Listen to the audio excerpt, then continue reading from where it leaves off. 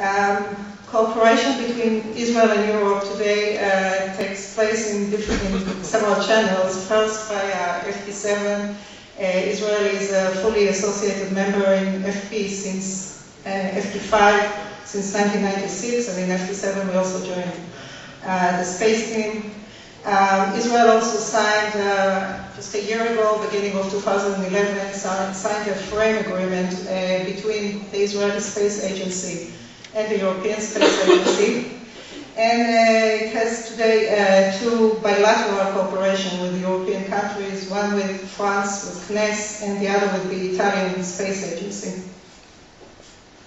Um, so a few words about cooperation with France. Cooperation with France is in the uh, Venus uh, mission. Venus stands for Vegetation and Environmental New Microsatellites.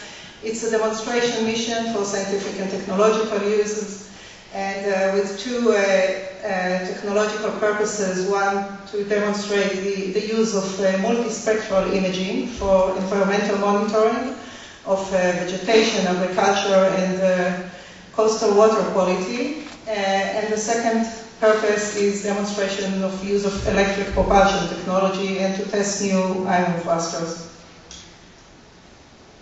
Um, so this is an example, an image uh, of use of uh, multispectral uh, imaging uh, to monitor um, uh, water, coastal water quality. Here you see a picture of the different uh, pollution level across the coastline of Israel and Egypt. the second bilateral cooperation, which I mentioned, is with Italy. It's called Shalom. Uh, this is an agreement that was signed in 2010. It's still in initial uh, study phases, but here the goal is to uh, develop a spaceborne hyperspectral satellite system. Uh, Israel in FP7, so Israel is a participant in some uh, winning uh, projects in FP7. first the My Ocean, and now the continuation, of the new project My Ocean 2 which is a Porta Corporation for GMES ocean monitoring. Um, the Israeli Oceanographic Research Institute is a member of this uh, uh, consortium. And we, have, we are also uh, pa uh, partners in three new uh, projects from the latest call from 2011. One is the, DESICOS, which is a design guideline for composite launcher structures in order to reduce weight. It was mentioned this morning where the Israeli participants, it's coordinated by DLR, and the Israeli participants are the Technion, the Israeli uh, Technical Institute, and the Griffiths.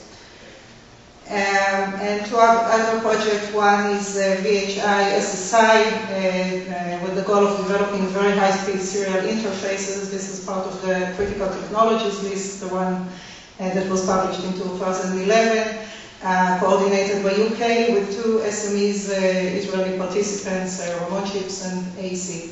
And the last one is SkyFlash, uh, development of hard flash memories for space applications uh, with uh, Tower semiconductors. Um, so what about the future? Um, uh, Israel also has made a, another strategic decision in recent years, which is to uh, become more engaged in uh, uh civilian applications, in uh, making use of capabilities originally developed mainly for defense purpose, to use them now for commercial and scientific purposes, and to leverage international collaborations. And you've seen some examples in the previous pages and the previous slides, but we believe there is potential to do much more. Uh, Israel is famous for its uh, innovation and entrepreneurship spirit, uh, which uh, can be, which is evidenced in many startups that exist today in, in high tech, in uh, medicine, in biotechnology, and we want to do the same for space. Uh, and Israel also has world-class space science in many fields, related fields, astronomy, astrophysics, earth science, and also material science and nanotechnology. So all in all, there is really a great potential for collaboration in the new in development of new technologies and science. Uh, this is just uh, some, it's not a, a, full list, but some of the major players in, uh, in space, active in space today, in industry and academy. A few of them are uh, present here at, at the conference, so if you would like, please come to our booth. We have a booth at the exhibition area, and we can connect you with those uh, players.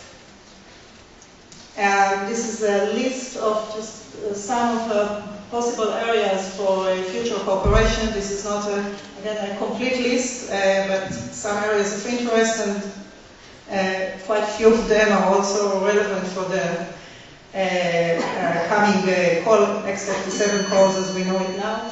Uh, so the areas are uh, development, uh, new development in microsatellite system and component, new bus, new technologies, new payload, uh, new generation of hyperspectral system payload, uh, electric propulsion and green propulsion technologies, uh, composite lightweight structures, uh, for example, for deployable uh, equipment, uh, different topics in uh, satellite communication, broad, broadband SATCOM, on-the-move SATCOM, integration of satellite communication with uh, GMES services, uh, technologies for cleaning space debris, um, all image processing and interpretation uh, capabilities such as change detection and feature extractions, and any applications for GMES remote sensing, particularly environmental, climate change, and uh, disaster um, services.